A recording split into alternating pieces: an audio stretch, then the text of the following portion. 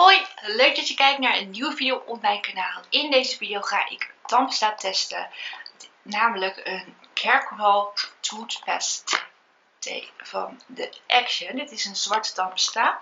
Ik zal jullie hier zo meteen wat meer over vertellen.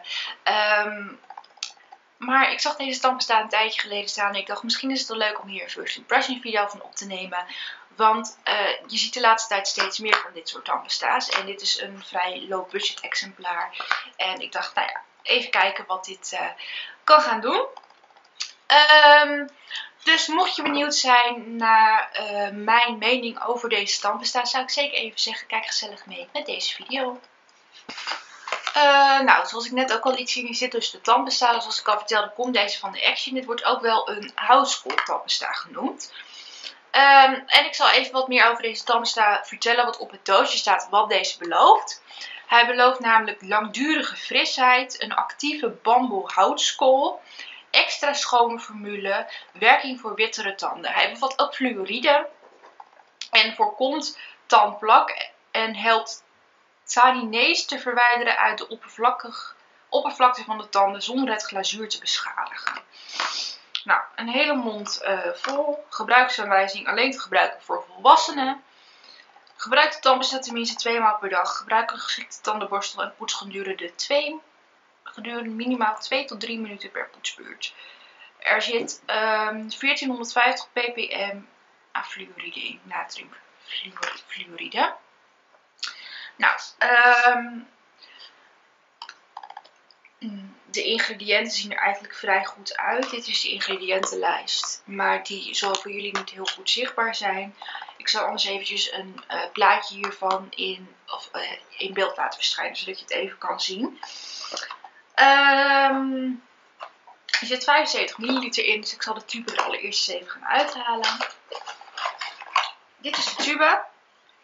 Ook zwart. Zo, op zijn kop. Dit is ook een zwarte tube. Um, de gebruiksaanwijzing staat ook nog weer hier achterop. Dus mocht je het doosje niet willen bewaren, is dat handig.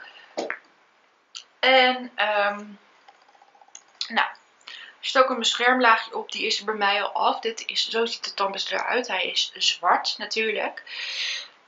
Um, nou ja, het is gewoon tijd om eventjes eh, mijn tanden met deze tandpasta te gaan poetsen. En uh, dan gaan we eens even zien wat ik er daarna van vind. Hoog tijd om mijn tanden te gaan poetsen met deze tandpasta. Ik, ik poets altijd elektrisch en ik heb deze Oral-B tandenborstel. En ik ga nu tandpasta op deze borstel aanbrengen. Dus ik zal hem even dicht bij de camera houden.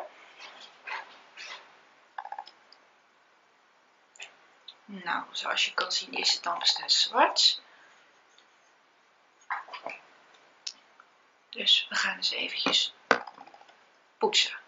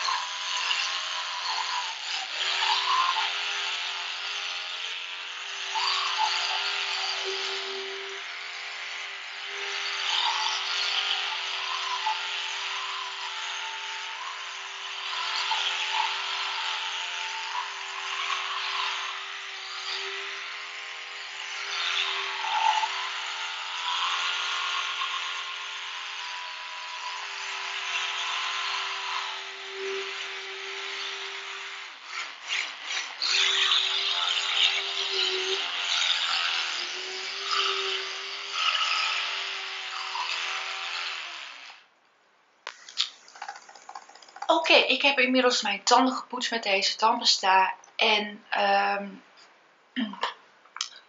heel eerlijk, de frisheid viel mij heel erg tegen. Er staat echt langdurige frisheid. Nou, ik vind hem niet super fris. Uh, er zit wel gewoon, er zit een gewone um,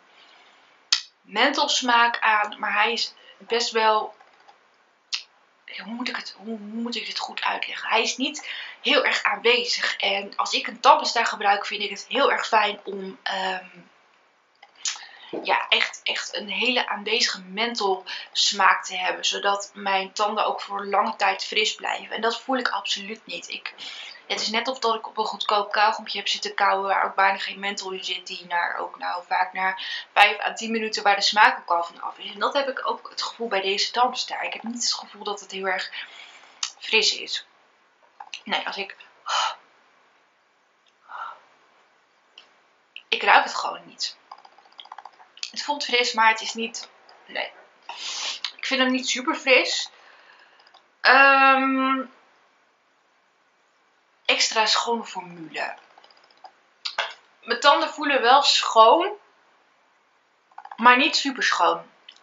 Als ik mijn tong over de tanden ga, voel ik nog steeds tandplak. En ik heb eigenlijk goed gepoetst zoals ik altijd poets. Ik heb ook nog een extra ronde gemaakt, juist over mijn, uh, de voorkant van mijn gebit heen. Maar ik voel het niet. Ik, het voelt niet zo glad als dat ik bij een andere tandpasta vaak ervaar. Uh, de wittere formule, of dat, dat je tanden de witte erop lijken. Nou, dan ga ik eventjes kijken, want ik heb ook even een nafoto gemaakt.